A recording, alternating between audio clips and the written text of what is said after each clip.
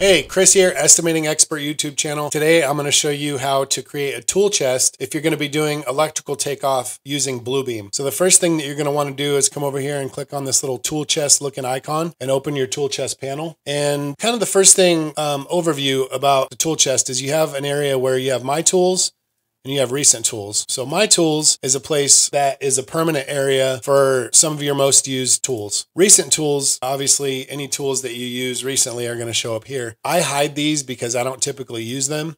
Um, but the first thing that you're going to want to do when you get an estimate or you start a new estimate in Bluebeam is create a tool chest for the project. So come over here, drop this down, click manage tool sets.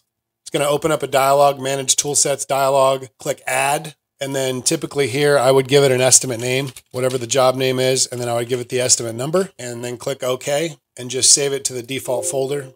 And now you have a new tool chest created up here that which this will be your estimate name and estimate number, of course. But now you don't have any tools in here to use. But in some of the next videos, I'll show you how to create items. We'll do some light fixture counts, some wiring device counts. We'll do some home runs and some branch wiring. And I'll show you how that you can create items or tools to use inside your tool chest um, that you can reuse over and over again. One more thing to note is in the tool chest, there's a couple different views. I open this My Tools back up. There's the symbol view, and the detail view. I like to use the detail view because it shows some text because I'm going to show you guys later how you can add subject lines and you can label it and you can even layer some of the items and the tools that you create so that when you're doing these counts, um, so let's say if you create a light fixture and you layer it to the fixtures layer, all the fixtures that you count with that symbol will be on a layer, which in later videos, I'll show you why that's useful transitioning an estimate into project management or operations rather. So that's how you create a tool chest. Stay tuned for the next videos where I'll show you how to create tools that we can use for the tool chest. If you like this video, like and subscribe and comment. It's what keeps me going and I appreciate it. Thanks.